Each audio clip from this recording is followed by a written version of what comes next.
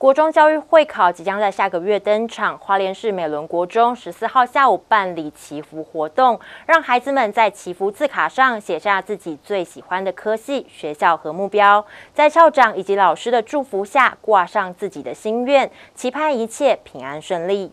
国中教育会考即将在五月登场，紧接着就是毕业，迈向下个人生阶段。花莲市美伦国中十四日第七节课特别举办第五届祈福活动。邀集七个班级一百四十九位九年级准毕业生，由家长会准备会考好运文具组给各班，随后在校长的勉励以及敲响祈福锣声后，挂上祈福卡，期盼孩子们会考以及未来一切平安顺利。祝福我们九年级每一位孩子，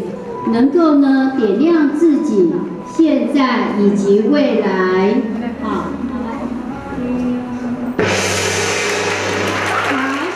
其实最重要的是，我们希望呢，在教育会考前，透过这样的一个祈福活动，让我们每一个孩子呢，能够选择他最喜欢的科系来就读。那每一个孩子呢，都会有心中的第一个志愿。那我们这次的祈福卡呢，其实也是由我们的学生自己创作的，透过我们的那个就是多媒体的一个那个那个器材，所以呢，每一个孩子呢都可以设计。那我在这个过程当中，孩子把他心中的愿望把它写过写下来，透过这样的一个活动，把他最美好的挂在那个祈福卡里面。我们希望给孩子的是一个满满的祝福。